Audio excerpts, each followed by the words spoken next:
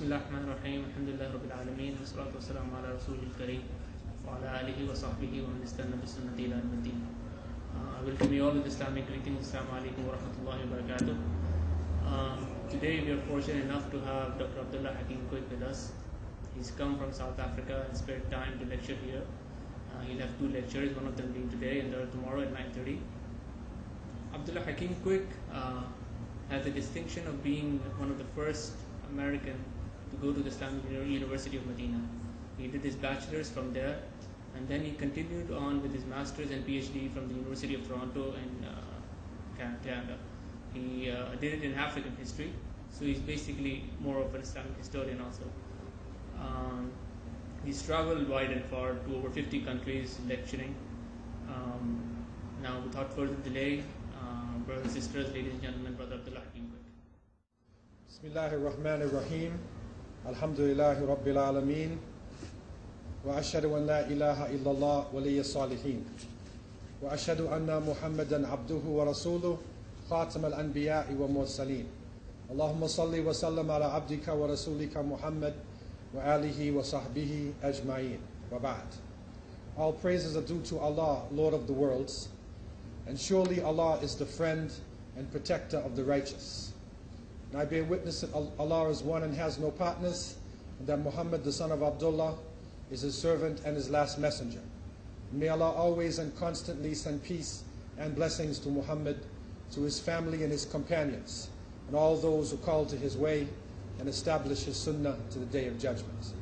As to what follows, my beloved brothers and sisters, our guests, our friends, I begin with the greeting words of the righteous, Assalamu alaikum wa rahmatullah. And these are the words of peace. And to our non-Muslim uh, friends and visitors who are here tonight, I pray that uh, this would be a source of peace and also a source of understanding.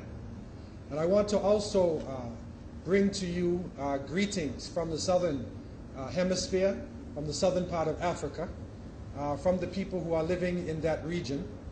This is an area where there is great opportunity, there is great hope, because people of different religions and different nationalities and different colors are speaking to each other. They are dialoguing uh, with each other. And so there is great opportunity for the society to overcome uh, violence and hatred in building a new world. But at the same time, it is also a place where there is great uh, despair. It is the epicenter of the HIV AIDS uh, pandemic. Also, there is uh, a great imbalance between the rich and the poor. And so, the people who are entering into Islam and are now understanding the message of Islam are looking to the Muslim world, looking at the sources of Islam for guidance. And I want to uh, seek refuge in the words of Allah Azza wa Jal uh, in Surah Al-Talaq. And especially in the times that we are living in today, um, when the Muslim world finds itself uh, in great crisis and there is great pressure applied to us. But Allah tells us, وَمَن يَتَّقِ اللَّهَ يَجْعَلْ لَهُ مَخْرَجًا وَيَرْزُقُهُ مِنْ حَيْثُ لَا يَحْتَسِبُ وَمَن يَتَوَكَّلْ عَلَى اللَّهِ فَهُوَ حَسْبُهُ إِنَّ اللَّهَ بَالِغُ أَمْرِي قَدْ جَعَلَ اللَّهُ لِكُلِّ شَيْءٍ قَدْرًا Allah tells us, and whoever keeps his duty to Allah, has the consciousness of Allah, then Allah will make a way out for him and provide for him from where he knows not. And whoever depends upon Allah, then Allah is sufficient for him. Surely Allah will reach his purpose, and he has made a limit for everything. So there is a limit to oppression. There is a limit to exploitation. And we have to continue to pray that Allah would bless this world, even though we are going through very dangerous changes now. But that Allah would bless us to come out of this uh, century of strife, uh, that the world could return to a state of peace. Recently, um, I was asked to go uh, to a set of islands off the coast of East Africa. These are known as the Seychelles chains. There in the Seychelles a group of Muslims were having an exhibition. And they wanted to display to the people of the Seychelles um, what Islam really was, to open up doors that had been hidden to the population for many years. And while uh, we were there on this island chain, we came across a very strange place. And this is called La Digue. It's the island of La Digue. And what is strange about it is that the makeup of this island, the rock formations, are very strange ones, and combined with um, the vegetation, gives you the feeling that you have actually gone back uh, in time. And the Seychelles chain are the only islands in the world that are made from granite. Most islands are made either from coral or from volcanoes. These are granite islands. And according to um, scientists, uh, many years ago, over 200 million years ago, approximately, the continents that we know as Africa and Asia, the Middle East, Australia, Antarctica, South America were all combined together. It was one landmass. And with a major change in the earth, um, it split up, this Gondwana continent split up into the continents that we know. But somehow the Seychelles was in the middle. And it didn't go to, to either of the continents, it stayed by itself in the middle with granite formations. And so it's a unique uh, place. And when you are there, you feel as though you are going back in time. You feel as though you are 100,000 years uh, back in time. And it reminded me uh, of a, a very important project that took place in South Africa where a group of scientists came together and studied the ge geology, uh, archaeology, history of the planet. And they came to the conclusion that we are living in the sixth extinction. That over the past 500 million years, there have been a number of major planetary changes on Earth. And that every 100 million years or, so, the, the dominant species on the planet disappeared, became extinct. Whether it was asteroid uh, impact or temperature change, carbon dioxide increase, whatever the reason was, for some reason, for some uh, uh, uh, reason only known, known by Allah subhanahu wa ta'ala, the dominant species disappeared. But this extinction, which is the sixth major extinction, this is a different one. Because the major factor behind the extinction of mammal life and bird life are human beings. In the past, it was uh, events, big events that happened on the earth. But this time, it is because of human beings.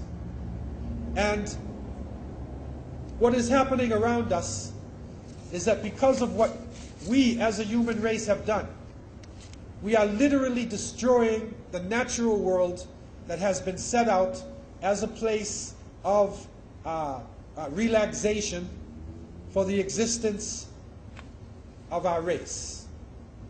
According to the historians uh, in this project, they looked at human life over the past 100,000 years. And they looked at the waves of humans going out, first out of Africa into Europe and Asia.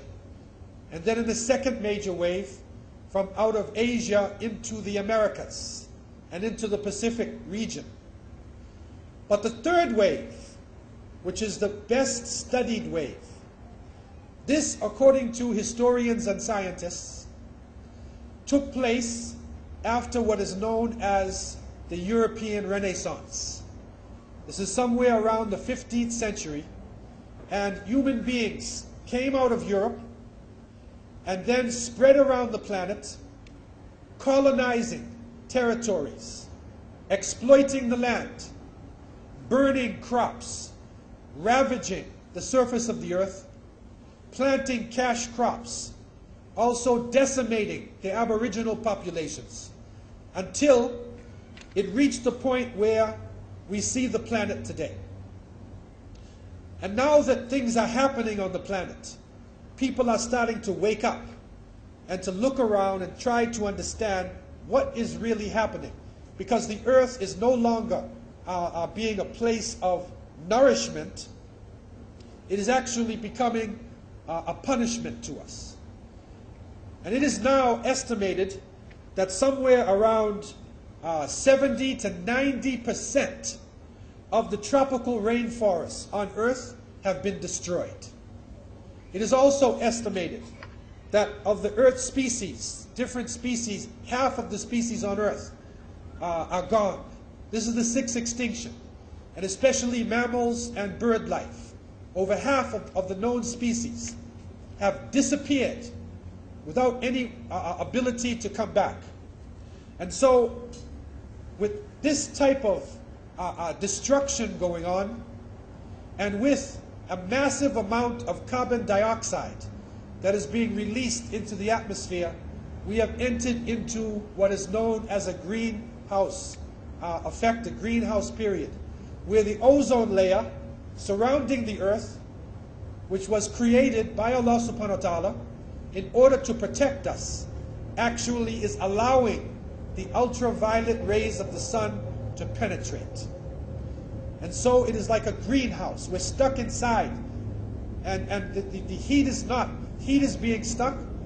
And we are literally seeing massive changes in the environment happening around us.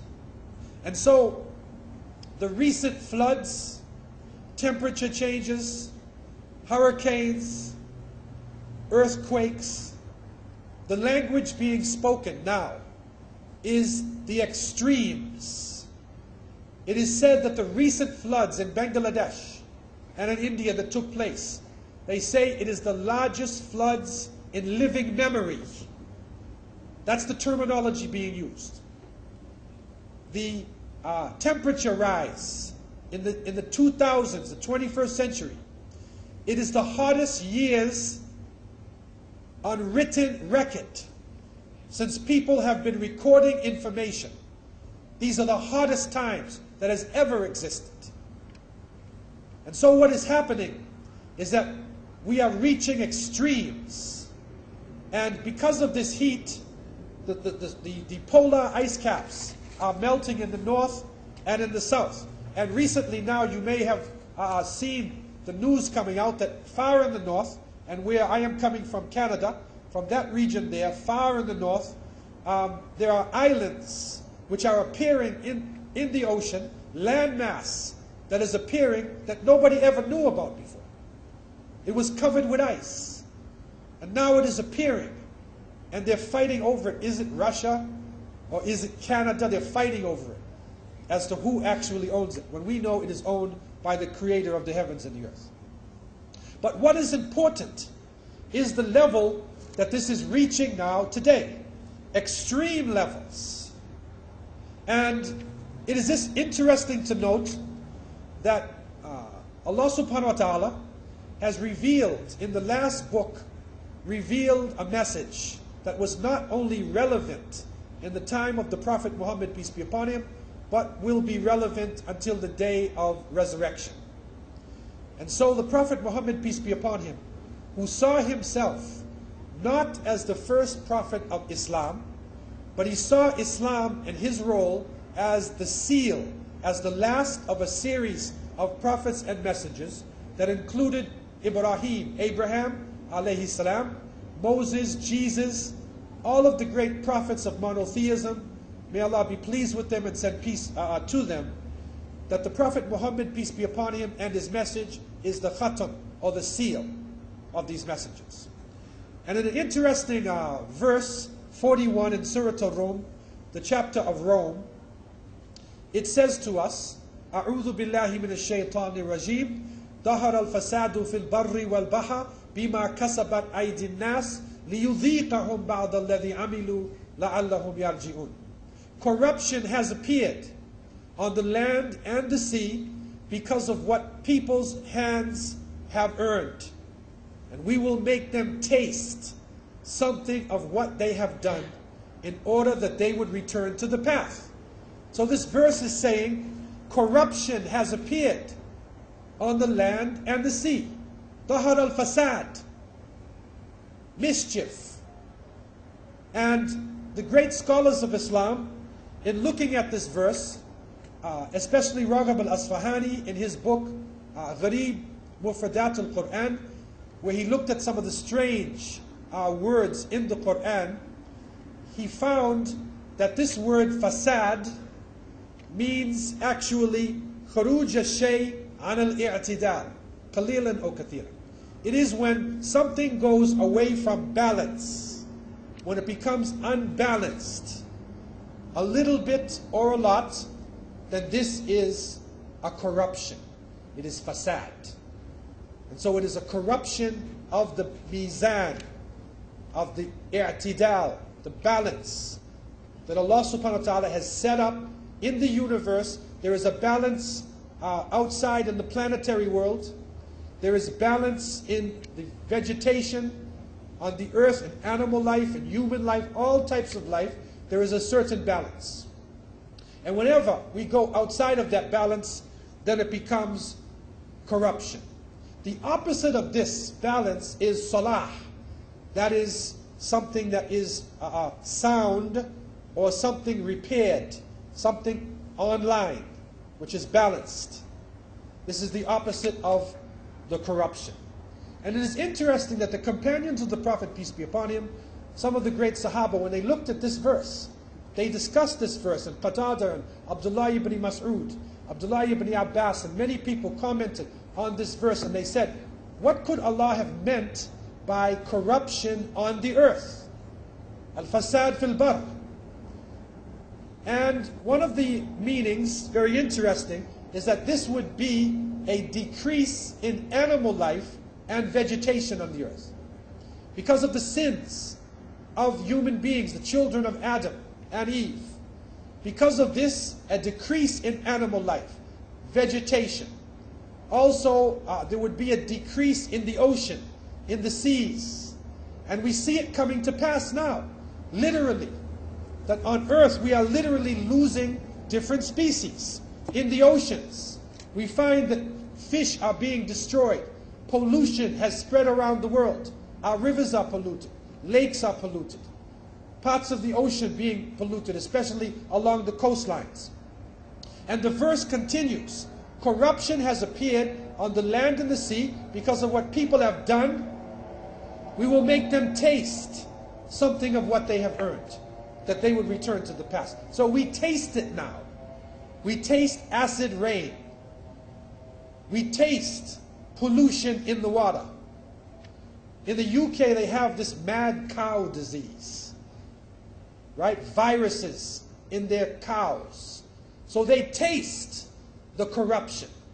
Why do they taste it? لَعَلَّهُمْ يَرْجِعُونَ In order that they would return to the path. And so it is sunnatullah that is coming to pass. It is something happening in front of us. And we have to be aware of what is happening. And recently, the president of the Maldives Islands, uh, which is off uh, the coast of India in the Indian Ocean, Sheikh Abdul Qayyum, he addressed uh, a gathering of the nations. And he said, the Maldives is one of the smallest states. We are not in a position to change the course of events in the world. But what you do or do not do will greatly influence the fate of my people. It can also change the course of history. What was he talking about? Now, only in recent months, it is coming clearer and clearer. The Greenland ice shelf, which a frozen, which was a frozen, uh, huge formation of ice in the northern part of the world, is melting down. And if this continues to melt, the ocean could be rising by meters. And this would be catastrophic. It would be catastrophic for the island states. And it is possible, la samahallah, may Allah forbid, that island states like the Maldives or the, or the Comoros or the Seychelles could be literally underwater. It also means that cities on coastlines with reclaimed land could also find their reclaimed land underwater. And I'm not just talking about here, but that's obvious.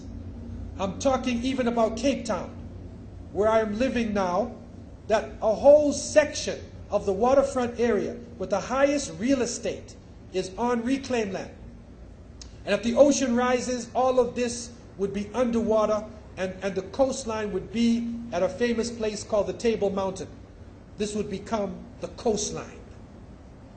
And so it is coming to pass.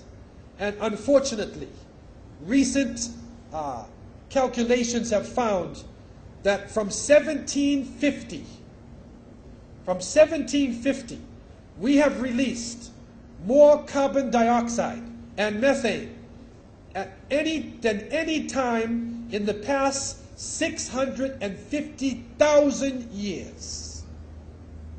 This is how crazy it is. And so it has reached the point where human beings will have to come together. And I believe seriously that within the next 10 to 20 years, that the present world that we know and the borders that we know and the countries that we know is going to change.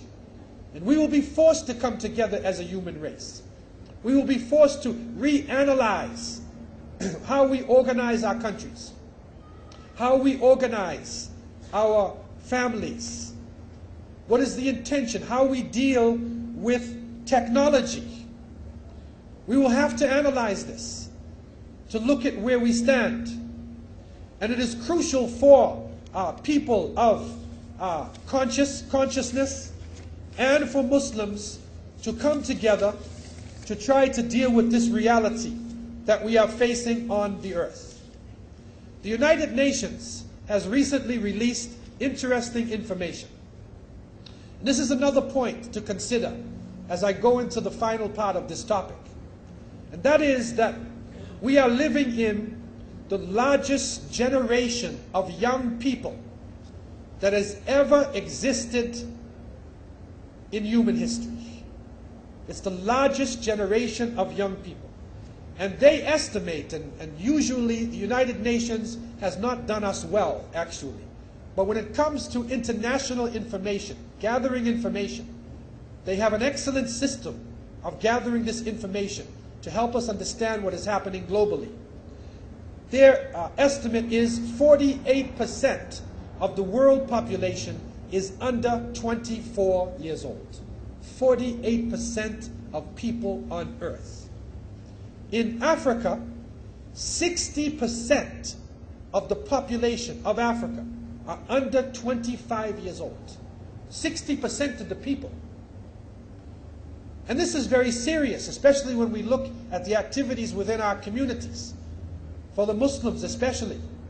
How many programs do we have for young people within our communities? Do we have recreation? Do we have a way for a young person to grow up and then come and find themselves uh, in a state of Islam as an adult? And so, because of this, it's very interesting. They have focused on certain points as the major crisis issues. These are major crisis issues for the world. And you see it played out in different societies. Not all of them everywhere. But you will see these points.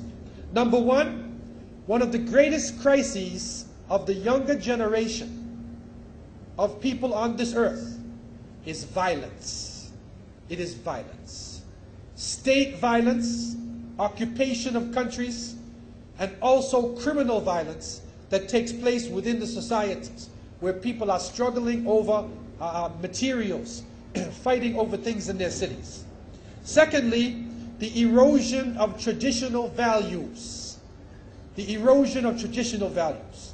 And you'll see in most of societies, people living in China, people living in the Arab world, living in India, living in, in, in all parts of the world, in Africa.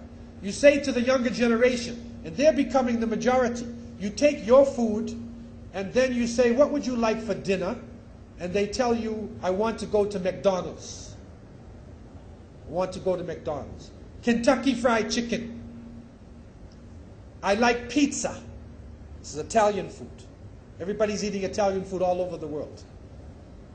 Why is it? And just as we were coming now, I saw an interesting sign. It said McDonald's has date pies with a crescent.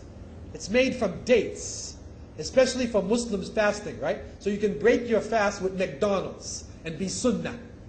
You see? This is the McDonaldization of culture. That's literally what it is. What does it do?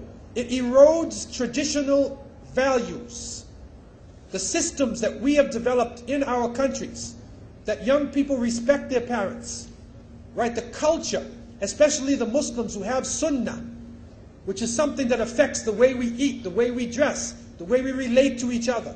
It gets eroded and it gets confused, and another type of global culture takes over that causes confusion in the minds of the younger generation and then turns people into consumers who only care about making money and buying things and then adding and putting their material things up and then judging another person, not by their taqwa, not by their piety or their character, but judging them by the materials. They have the shoes that they are wearing, the cell phone. What kind of cell phone are you talking on? What kind of car are you driving? Judging people by this. So it erodes traditional values. The third point brought up by the United Nations is that one of the great crises facing the, young, the, the younger generation today is poverty. And this part of the world has been blessed with wealth. But in southern part of Africa and in Asia and many parts of the world, you will find uh, uh, malnutrition and you will find thousands of people living in shack-like conditions, in conditions you would never believe could actually be set up for human life. But this is the reality that is happening in the world, and the overwhelming majority of the people today are actually starving and have malnutrition. The next point brought up by the United Nations, and it's interesting to compare as we look at our own understanding, is disease. That disease would become one of the great crises in the world today. And we see this in Southern Africa maybe more than anybody else because HIV AIDS has reached the point where there are some places in Southern Africa where 36% of the population are HIV positive. 36% of the people. The most active thing going on in many of the communities is janaza. It's funerals. This is the biggest event that is happening in many of the township areas in Southern Africa now. It's funerals of people who are literally dying from the HIV AIDS, malaria, tuberculosis, and other diseases that are spreading through the land. The fifth point of the major crises that are facing the world today is drugs. It is the abuse of substances like alcohol and other drugs. And don't think that alcohol is not a drug. Because alcohol is drugs in liquid form. That's all it is. And it destroys the body, it destroys the mind. And you will see in the world today, as we go, a culture, a global culture that is being pushed upon our societies where people who feel bad about themselves or depressed, they instead of turning to their creator, they take a drink. They turn to alcohol for comfort. They turn to drugs in order to escape the world. And what happens? Dependency where the person becomes dependent on the drugs and then loses their values, loses their morals, loses their, their consciousness, and they are capable of doing almost anything. We in Southern Africa, in South Africa in particular, we are living in the epicenter of the drug crisis. Every known drug in the world has to pass through our country. In between Colombia and Asia, when the drugs are coming through, all the different forms of heroin, uh, uh, of, of cocaine, of LSD, of all the different types of drugs are passing through our country and having an impact on the society that we are living. And so, in looking at this, we have to understand that the Prophet Muhammad, peace be upon him, last of the long line of prophets, he did not speak from himself, but he spoke from above seven heavens.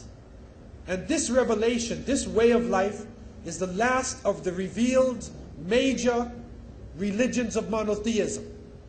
The last one to come to humanity, to help take us to a different plane of understanding, to take our responsibilities on earth, and to help us in all ways of life. And it is reported that the Prophet, peace be upon him, that he, uh, in his last major sermon, called the Mount Arafat sermon, that he said to his followers, Take this message, which is focusing on the oneness of God, on the fact that we should not be exploiting each other, the fact that there is no preference of Arabs over non Arabs, or white over black, or vice versa, the fact that women should be protected and respected. It focused on this and bringing society together in goodness. And he said to his followers, Those who are present should take this to those who are absent. Over 120,000 people. And they traveled to the four corners of the earth. And this message affected society in all types of ways. The Prophet, peace be upon him, said, Al hikmah dalat al mu'min. Aynama wajadaha fahuwa ahakku biha. He said, hikmah, wisdom, knowledge, is the lost property of a believer. Anywhere he finds it, he is most deserving of this. And so the Muslims took the knowledge of the ancient ones, the knowledge of the ancient uh, uh, Chinese, Indian, Middle East, Africa, the Greeks, the Romans. They took the wisdom of the ancient ones and put it together with a Quranic understanding, the last message. Put it together in a, in a new modern form that could be used by society to the day of resurrection. And so during this period of time, and especially if we focus on the 7th century, uh, between that and the 15th, 16th century, this is the golden age of Islam. And this is called by many historians as the dark ages of Europe. And no doubt the lights went off. When the Roman Empire fell, knowledge was being held by monks in monasteries. But what is not recorded is that during that time, Muslims of all colors and all nationalities came together in Muslim Spain, Al Andalus, in North Africa, in the Middle East, in Asia. And they developed most of the modern sciences, the systems of science that we know in the world today. And so zero, sifr, this is an Arabic word, zero. One, two, three, four, five. You're counting in Arabic numbers. Algebra, trigonometry, calculus. These are all developed by the Muslims during this period of time. The basic scientific method, alchemia, which is the basis of alchemy, from which comes chemistry. History, the systems of recording history in an objective way. And you can continue on and find that in most of the disciplines in the present university system, that Muslims during this period of time were able to take this knowledge from around the world and put it in a new form based upon the revelation that had come to them. And so this society impacted the world. But remember, the understanding of the waves of human culture. It is in the Renaissance period, which is not actually a Renaissance of Europe, it was the Islamic Renaissance that was translated. Because the places in Europe where knowledge sprang up were actually translation centers. And they translated the documents from the golden age of Islam and were able to set the systems for the modern system, for the modern world. But remember, this last wave of human life that goes out, it colonizes the earth. It decimates the aboriginal populations. It exploits. It burns the forests. It controls the populations. And then it enslaves millions of people takes them out of their homes and sends them around the world. It causes mass migrations. And so what happens is the world goes into a series of crises. And Muslims have to remember who they are. We forget sometimes who we are. We forget that we are actually carrying with us the last message of the Prophet والسلام, the last message that came from the creator of the heavens and the earth. And so you find in the world today, there is a spiritual crisis. And people around the world are now turning to magicians, fortune tellers, all over the world, even in the industrialized countries. They turn to magicians. They are turning to people to tell uh, uh, their, their, fortunes. And even in America, there's a person named Edwards, John Edwards, and he will stand you there on a stage, and then they say he has the power to talk to your dead ancestors. So as you stand there, he talks to your grandfather, and he says, Yes, this is your grandfather has come. He died about 20 years ago, and I'm talking to him now, right? He's dead, right? But he contacts the spirit world. And so he says, I'm talking to your grandfather. He has a yellow sweater on, and uh, he died from cancer. He died from cancer. That's a good guess because maybe half the population died of cancer, uh, you know, in that 20 years ago anyway, right? So he makes a good guess, and if you nod your head like yes, he continues. And this is watched on television by millions of people. Millions of people. And you find in many countries now the magicians are coming forward. What is known in the Quran as the Sahara the Sahara from the time of Fir'aun, they are coming forward with these types of sha'wada, of this magic, voodoo, obeah, shango, which is coming forward. In, in southern Africa, we have a terrible form of magic. May Allah protect us from us. They do what is called muti. And muti, if they want power, in order to protect themselves for evil or give you some benefit, they take a human being and they cut off one of his limbs. And the more he screams, is the better it's going to be. And they take that and they mix it up in the drink. Right? They make a strange potion and then they make you drink it in order to get power from demonic forces.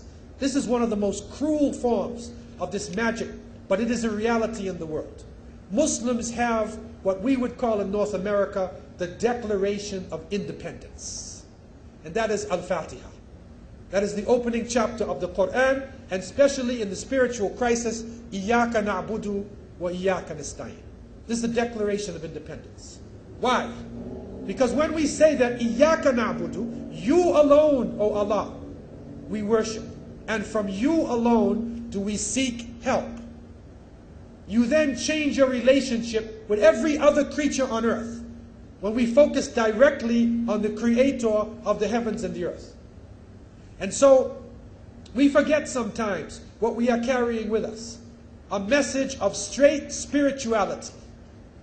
The world also is going through economic crisis because we are living in a time where people are printing paper notes and the notes are supposed to equal the gold and silver in the bank. Those notes that you have, dirham, dinar, dollar, pound, euro, it's a promissory note.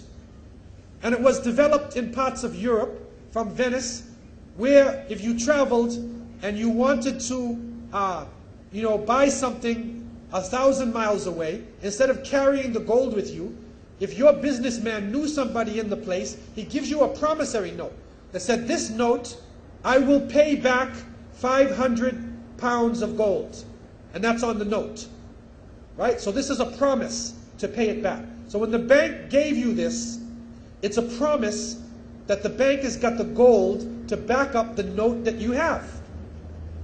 The problem is today that people print more notes than they have gold and silver in the bank. And so it becomes, it overflows. Right? And then interest and usury comes in, and a, an, an implosion happens where it explodes within itself.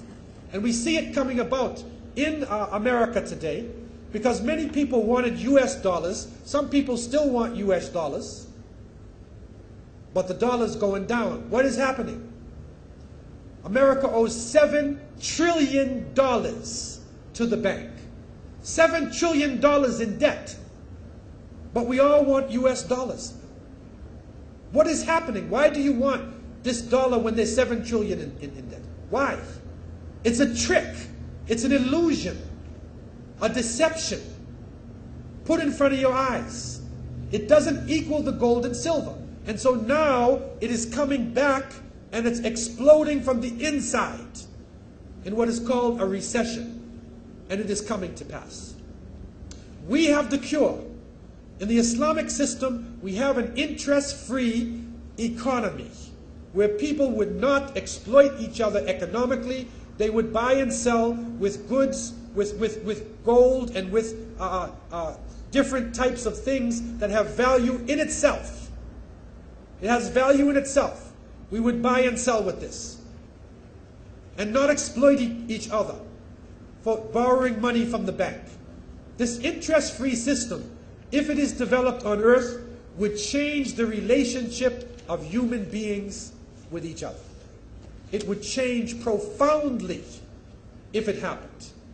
And so within our system, there is hope for the future. The world also today is in a spirit, is in a social crisis. A social crisis in terms of the family. Family systems are breaking down. In many countries, marriage is an endangered institution. You know, like endangered species, it's about to disappear. In some countries like Canada, more people have what they call common law marriages than the regular marriage. You see somebody, you like her, she likes you, so you live, you live together. Let's go. You don't have to get married. You don't need to take any vows. You live together for five years, and then you say, I'll see you later. And if you have children, they have to fend for themselves. This is causing confusion in societies and exploding also on the inside. Also, people are confused about their own sexuality, confused who they are. And in some countries, the man, he's John during the day and he's Jane at night. He changes.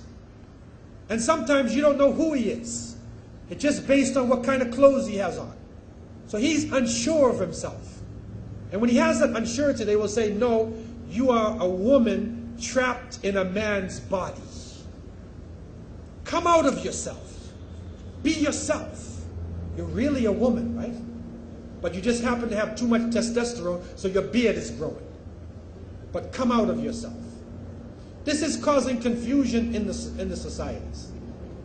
And it is causing the marriage institution to break down, which is the building block of the society. So the whole society is then in a state of confusion. And so Muslims have the last hope for humanity. The last hope is with the Muslim family. And I heard this, I traveled far north into the Scandinavian countries.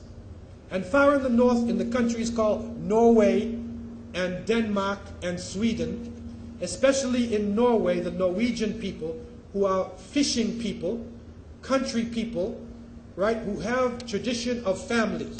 And they respect the family, tight families.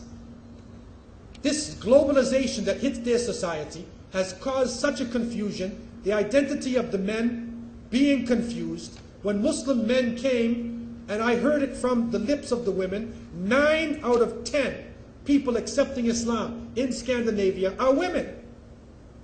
And we said, how is this? When Islam has got a bad reputation for women, right? They propagandize Muslims. They, say they beat their wives. They oppress their women. And many Muslims do oppress. But Islam does not oppress. So when the Norwegian woman saw what Islam really was, and saw Muslim men practicing Islam, they entered Islam. And they said, you Muslim men, if you practice Islam, you are the last hope for the family. After this, there is no more hope. And so it has come to pass that Islam, that we are blessed with a system of life that needs to be practiced. It needs somebody to implement this. We need to look into ourselves to make the changes inside of ourselves and to be able to take the responsibility on earth. As we are told in the Quran, in the beginning of creation of humanity, Allah tells us, Inni ja'ilun fil ardi khalifa. I am creating, I will create in the earth a khalifa, a representative. And people look at this term only in a political sense, as the head of state, but no. The essence of the khilafat is the responsibility on earth to represent the creator of the heavens and the earth. So if the environment is in trouble, if society is in trouble, then it is the duty of humanity, and especially those who are carrying the last message, it is our duty to go forward and to spread this message and to hold hands with people of other religions, other nationalities, people of consciousness. Make alliances, come together before it is too late. In the next 10 to 20 years, and Allah knows best, the present earth that we know, the borderlines, the countries, it is about to change radically and never go back again. And those who want to really know what is happening, read in the words of the Prophet Muhammad and what the muhaddithin call alamat sa'a, the signs of the last days. Read in this. Then you will see more what is happening on the face of the planet Earth. And so I pray that Almighty Allah Azza wa Jal would help us, uh, Muslims who are practicing Islam, to come together with people of consciousness, of other faiths, other nationalities, to dialogue with each other, to be able to deal with the real responsibilities on earth, taking our role as the Khalifa, calling to the good and forbidding evil, al-amru bil ma'ruf wa nahi anil munkar, and dealing with our responsibility. The Prophet Muhammad, peace be upon him, he did not speak from himself. And some people say, oh, well, this, uh, this talk about environment, this is Greenpeace, the greener people. You know what the Prophet, peace be upon him, said? He said, if the day of judgment is coming, Qamat al-Qiyamah, judgment is coming, and one of you has a seedling in his hand, he should plant that seedling. Plant it. The day of judgment is here. But you have a plant in your hand, plant the seed. Take care of the earth. Even in the most extreme circumstances, take care of your role as the Khalifa on this earth. I leave you with these, these words. I ask Allah to have mercy on me and you, to accept the prayers of the believers in the month of Ramadan, to accept our fasting, our good deeds, and that this month would be a source of uh, uh, peace and comfort to those who are in occupied zones, those who are suffering. May Allah have mercy upon them and this ummah. أقول قولي هذا وأستغفر الله لي ولكم والسلام عليكم ورحمة الله وبركاته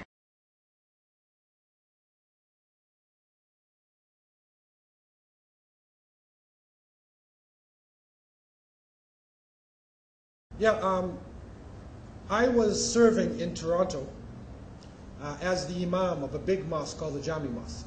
That time in Toronto, there was only two mosques in the city. Now it's a huge community, maybe the largest in all of North America. At that time, there was two mosques. And I was expecting actually uh, a lot of questions about aqidah, about faith and fiqh. But most of the problems coming were social problems. And from there, I went behind the veil into the Muslim families. And I found that there was a lot of oppression, where men were exploiting women, where people are calling divorce talak, talak, talak, talak. They say talak like water coming out of their mouth, not understanding the seriousness of divorce within Islam. Also, physical abuse.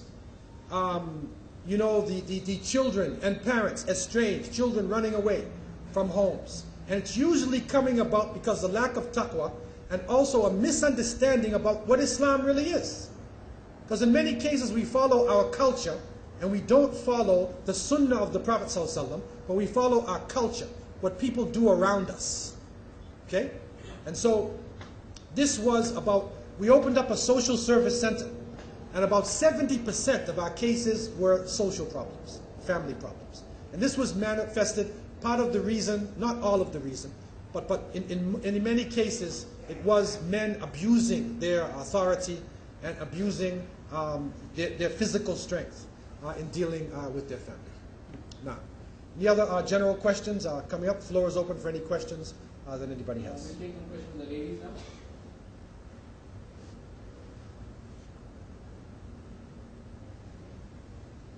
I guess there are no questions from there.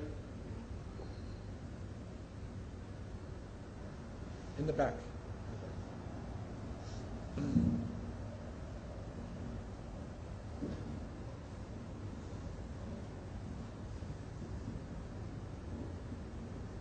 Assalamu alaikum. Walaikum salam. Uh, You spoke about uh, uh, in, uh, climate change and because of the industrial emissions.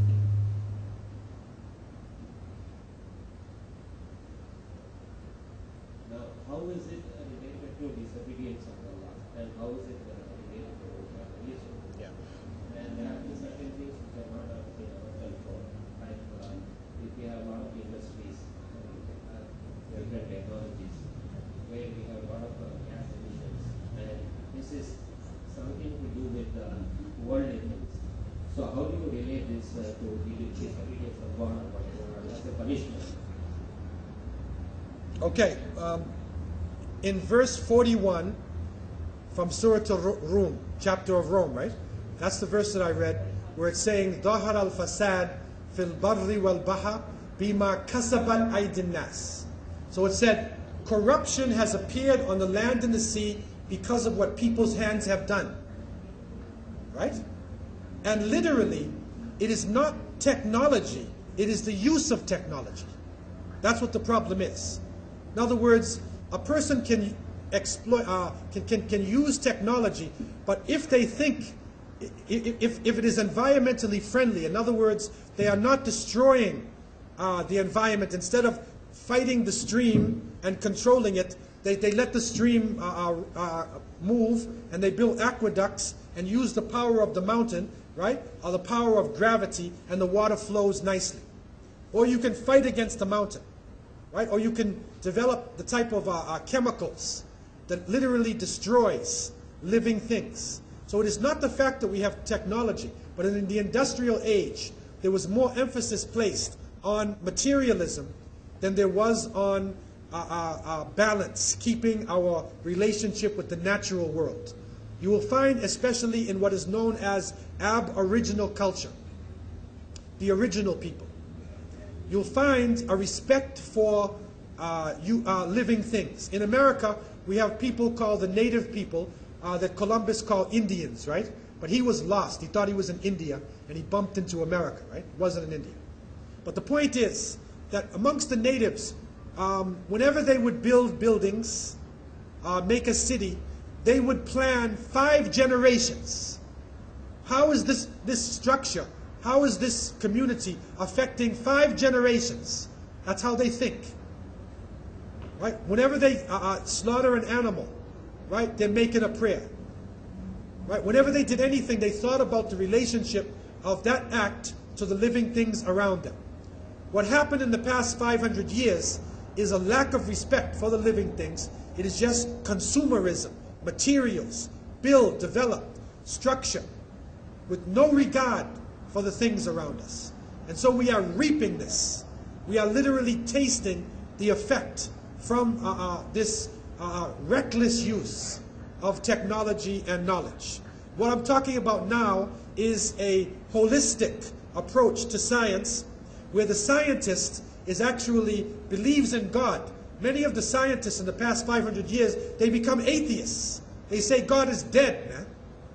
There's no God.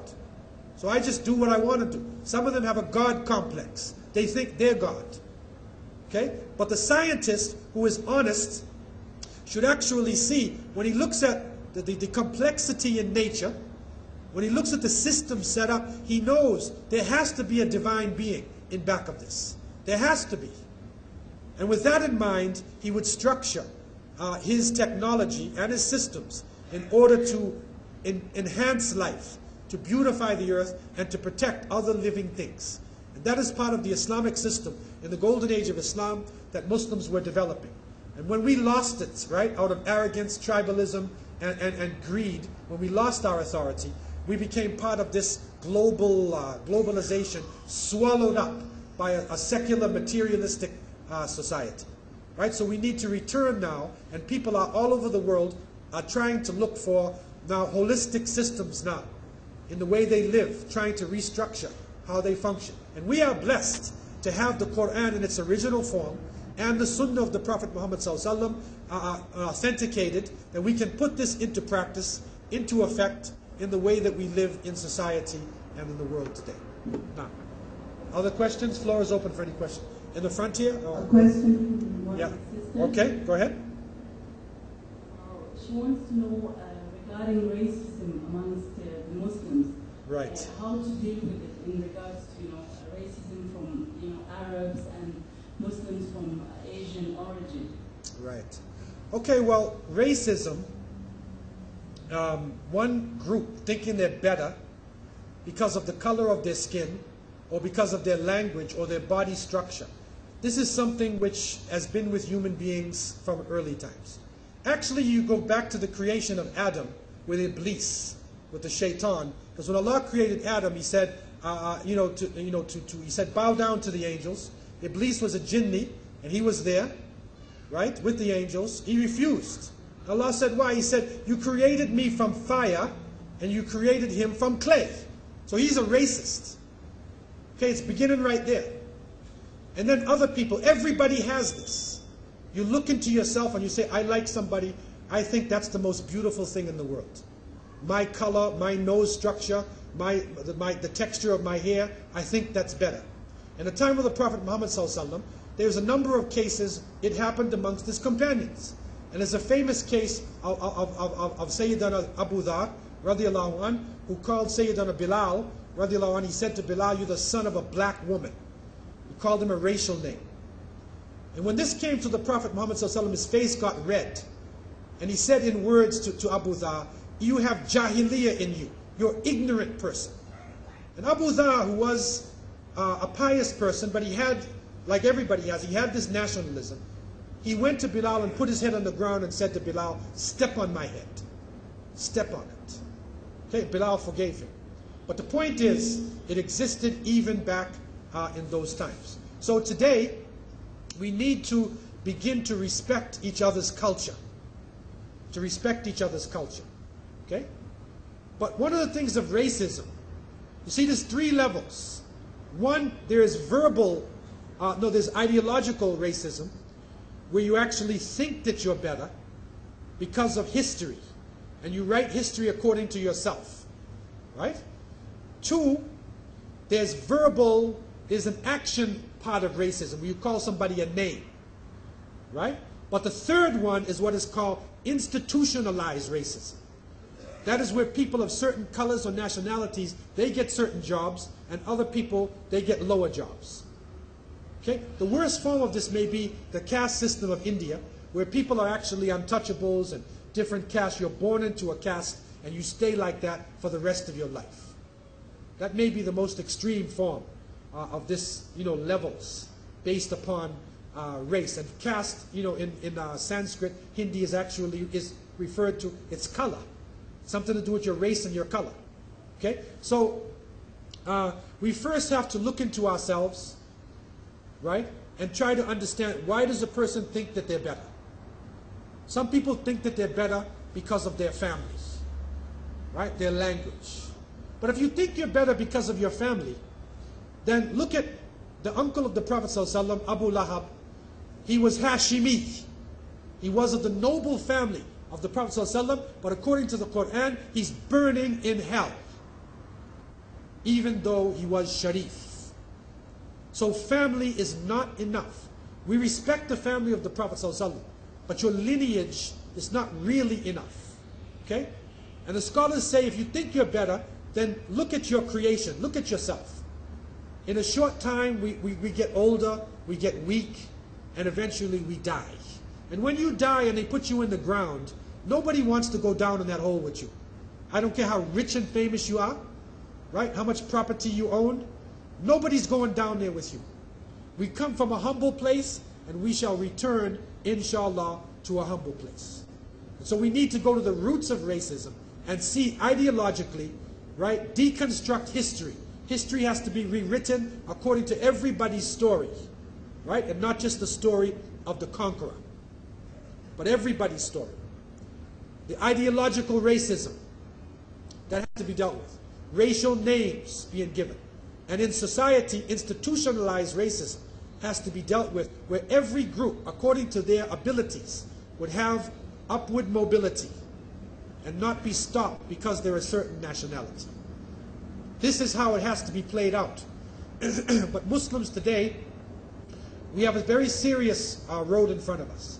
Because tribalism, qawmiya, uh, it exists, as the Prophet ﷺ said, it is a filthy thing. And it does exist amongst us.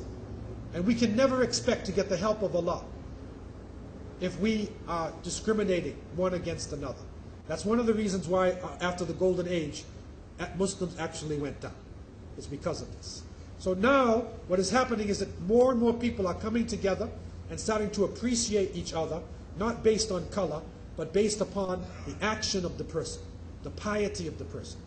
This is what the Quran actually teaches. So granite, all the other islands are made of volcanic rock or of corals.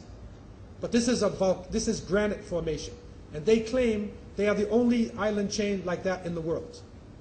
Okay, and when the, when the um, Gondwana, when, when the massive uh, continent broke up that made the present day South America, you know, Middle East, Asia, Africa, you know, uh, Australia, when that broke up, they were in the middle. And they didn't go to either side. They got stuck in the middle. Right? So it's literally like a mountain under the water sticking up, and the top of it is uh, the, uh, the set of these islands, you know, these granite formations. So it's like um, what they would call in the West like Jurassic Park. It's like when you're walking there, it's like you're in the age of the dinosaurs or something. Because of the formations in there and the vegetation and the granite. It's really strange, man. And some of the rocks look like alien rocks or something. Something from a, a meteor or something. So this is what is really strange about it. You know, uh, uh, the islands there. And they usually talk about Seychelles, they say the rich and the famous and all that. But actually, the majority of the people in the Seychelles are, are poor people. It's a Creole population. And um, they have drug problems and just like and other problems like anywhere else in the world. And Islam is spreading there now. The Islamic Information Center has opened a public exhibition, and uh, there's a big uh, anti-drug program going on, and Muslims are taking a leading role uh, there in the Seychelles. So it's a very interesting uh, possibility for the future uh, in that region. But it's a granite for- formation. Now, the brother here in the front has got a question. Any any questions, ladies? huh? Okay, we'll take the- Assalamu alaikum. Walaikum salam. Uh, I would like to ask one thing. As Muslims, we are sure that Allah is the creator and He controls everything. And also, we know in ex- by experience in life that about the uh, healing powers of Quran. Now, I do not understand that the people of other religions, he may be a Hindu, he may be a Christian, or anybody, that people are so convinced about their healing powers and they flock in thousands to them. Like, I do not understand how they, I mean, how it happens, like how they get healed, or how their faith is so much. Either uh, is it psychological or coincidence, or does uh, shaitan has any role to play in this? Okay, I'm not exactly sure which group you're talking about, but uh, science and medicine, um, healing uh, using natural um, uh, herbs and different things like that. This is something which is shared by all all nations. It's not only from Muslims. So within um, Hinduism, within Christianity, native religions, you will find people who develop systems of, of healing using natural products and other things which are very effective. So they're able to use these, and they have charisma, and they are able to attract people uh, uh, to these groups. But um, in terms of the, the spiritual things, this is the weakness of human beings. That human beings, they will follow a, a charismatic leader, you know, and uh, they get caught up in, um, you know, the sounds and, and the sights and the group feeling which is developed, right? It's a type of group, um, uh, uh, you know, propaganda. Even the Nazis, the Goebbels, was the Nazis' propaganda expert. You know, Hitler was a, was a, was a tremendous speaker, and they could brainwash you using propaganda. This is what is being used today, uh, you know, in BBC and CNN, right, and all these programs, right? The man standing in front of you, he sounds so correct, he's lying 100%. But he's so professional about it. You believe him, man. You might be standing right in the place, right, and the opposite is happening, but he says it so effectively, you look around and say, uh, is he right or wrong? Right? This is magic, like the Sahara, like the magicians in the time of Pharaoh. They had the ability to create illusions. Right? So they would throw their sticks and they turn it look like snakes. But what Musa salam had, when he threw his asa, he threw the staff and it ate up all their snakes. So when the truth really comes, it will uh, uh, consume all of the false uh, uh, ideologies you know, that exist all around. But it needs people who are sincere and who are serious about putting it into practice and putting it into their lives. Now, for photograph. Uh, such mammoth issues at hand uh, reaching to the level of United Nations, uh, what common masters and individuals can do uh, to uh, help this out? Okay, this is a very, very good question in terms of what we can actually do. And I believe, honestly, that we can do something as individuals. That if people start to change their own lives, that it can actually eventually work. And it doesn't have to be from top down, it can come from the bottom up. And we, the, the, the, the common people, the lowly people, who have no political power, who do not have millions of dollars or, or other currencies, right? We can do something. Even just by reusing things, recycling things, right? Start not just throwing cans around and poisoning our bodies and poisoning the environment, right? Start to try to live a more uh, natural way, right? Have, have a smaller carbon imprint on the earth, right? Try in the best, following sunnah, right? And staying away from chemical things, right? And, and destroying the environment. And when it starts to, to, to work, it starts to move, you know, it eventually grows and it expands. Also, we can pressure uh, our leaders, you know, to, to, to be more involved in um, this struggle to protect the environment. Because it is for the good of the leaders and our community, because our societies are going to be destroyed. But pressure needs to be applied. Articles can be written into the papers. Pressures applied to the leader. Look at the situation, right? So, so we don't have such a terrible carbon imprint and, and, and destroy the environment uh, so much around us. So we can start, and, and we, whatever we do, at least on the day of judgment, we, will, we, we can face Allah subhanahu wa ta'ala and say, I tried to do something. I did something on my own. Even if I didn't have the power, but I, I tried to do something. So every individual needs to learn what it is to reuse things, recycle things, uh, uh, you know, to, to start looking at more natural type of products to avoid chemicals in their food, in their lifestyle. And it, it will actually help us in our own lives, the more that we are able to live in this natural way. And it's really closer to the sunnah. We really look at the sunnah of the Prophet ﷺ, how he ate and how he lived. You will see that it's very environmentally friendly. Actually, the way they used to live in, in a sunnah way. And, and we can still be modern and follow the sunnah. We don't have to go back all the way 1400 years, but we can take the principles of the sunnah and then apply them to the world we are living in today. Wallahu a'lam. No. questions, one to the ladies. Uh, this is another question from one of the sisters. Uh, do you feel that the Ummah is getting stronger outside the Middle East, like in areas of Pakistan, Indonesia, Malaysia, more rivers in North America, but the Ummah within Arabia is weakening? Okay, I can't comment on what is happening in the Middle East because I don't live in the Middle East. Um, I'm living in the Southern Hemisphere. Um, and it's very confusing what is happening here. You can't believe the papers, right? Um, but I, what I have found in traveling is that there is a rise in consciousness all over the world, all over the Muslim world. There are more and more people returning to the masjids, go, going back to the Sunnah. There are people accepting Islam. Many Aboriginal people around the world are actually accepting Islam now. Even in the United States, where you think that Islam is, is under attack, it's still the fastest growing religion. Eh? A lot of people accepting Islam. So this is the reality of the world we're living today. You know, no, they will not be able to put out the light of Allah.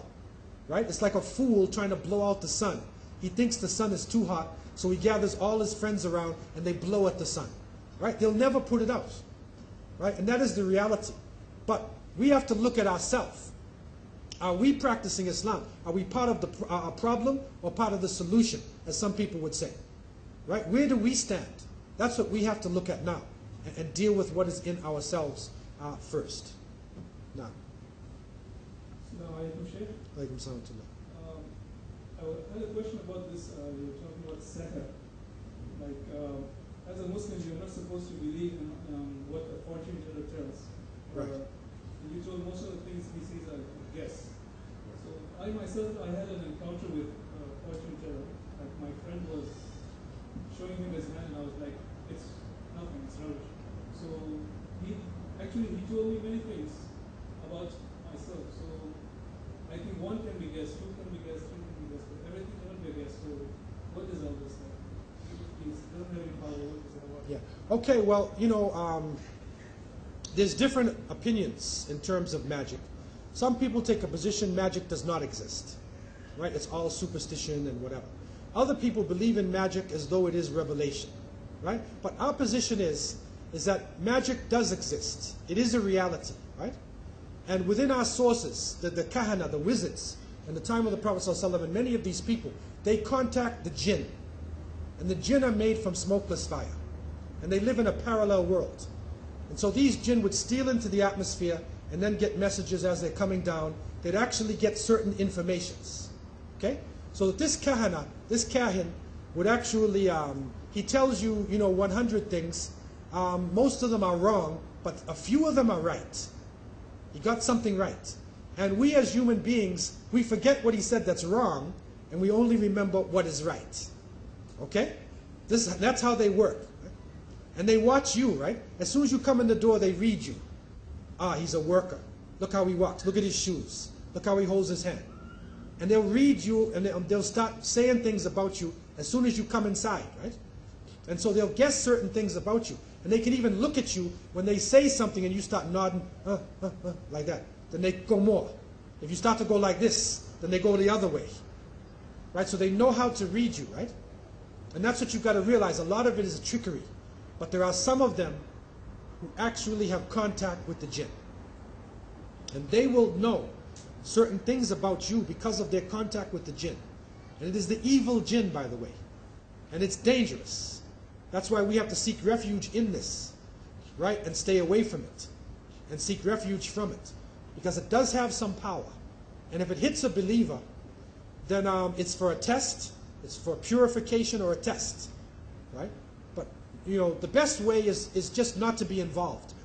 If you live a, a halal life, right, you're fasting, eating halal food, making your prayers, you're okay, man. A person called me up in Toronto and they said, you know, um, uh, he said my wife, uh, every, uh, every, sometimes a big black object comes at the bottom of the bed. Right? She sees it. I don't see it, but she sees it. Okay? And what, what should we do, Brother Abdullah? So I said, okay, we're in Canada. I said, brother, um, do you eat halal food? And he said, well, we're in Canada, you know, and we're far away, and sometimes I try to eat halal. I said, okay. I said, do you make salat regular? He said, well, you know, it's cold in Canada, and I can't always make my salat, but I try, you know, sometimes, right? Said, oh, okay, right? So then he said, uh, you know, and she's on the other line. Then she said, I'm seeing it now, it's coming. Right? And they said, do something, Abdul. I said, what am I supposed to do? Am I the Pope? Like, what am I supposed to do? If you are practicing Islam, if you eat halal, and you're making your salat, and you have tahara, you have purity, these things, most cases, are going to leave you alone. If you're not making salat, you're eating haram foods, right? And you're, and you're living this lifestyle, then you open yourself up for evil forces uh, to touch you. So the way to really deal with this is to practice Islam. That's the basis of the thing. Then if you have a problem, there are certain people, you know, uh, a few amount of the ulamas, some of them uh, have this understanding of how to deal with this jinn. I don't myself. Only a few people have this ability, right? So, so the best way is to, you know, focus on al-malaika, focus on the angels, man. Okay, malaika are here, man. Right? It's Ramadan. The jinns are locked up, man. So forget about them. Okay, focus on malaika. That's what we're supposed to do. That's what Ramadan does for us. Okay? But we focus on the jinns too much. They said the jinn is here and they walk backwards with their feet backwards and they do this and they say, Brother Abdullah, he comes to me and he said, I got a headache. The jinn is in my head, man. It's a jinn. Get him out. I said, Brother, how many jobs do you have? He said, I have two jobs. I said, you, so you're working like uh, 16 hours a day? He said, yeah. I looked at him. He has, I said, brother, there's a word called, word called stress. Right? It's stress. You need to get rid of one of your jobs. Right? It's no jinn in your head. Right? You're working too much. Okay, so but we so we tend to use these things as excuses. Right? And we need to focus on the creator of the heavens and the earth and the angels instead of focusing on these superstitions and other things like this. Okay? So we want to end uh, here uh, now. And uh, thank you for your attendance uh, here tonight. And um, for those visitors here, there's information in the back. And you can always get at the Qanat al Qasba uh, information. And um, uh, we want to uh, say to the Muslims, you know, may Allah accept your prayers and your fasting uh, in Ramadan and all the good deeds that you are doing. May Allah have mercy on us and unite us. Subhanallah wa bihamdihi, subhanakallahumma wa bihamdika, ashhadu an la ilaha illa anta, astaghfiruka wa atubu ilayk. Wassalamu alaikum wa rahmatullahi wa barakatuh.